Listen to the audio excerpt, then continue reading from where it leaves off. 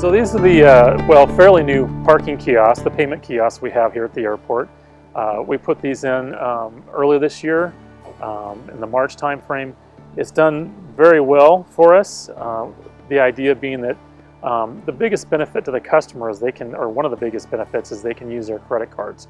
Um, standpoint, all the cash and all the coin that we were getting before, we're not spending as much time going through that from an enforcement, parking enforcement um, task. We don't have to spend as much time because now it's a printed uh, slip that you stick on your dashboard.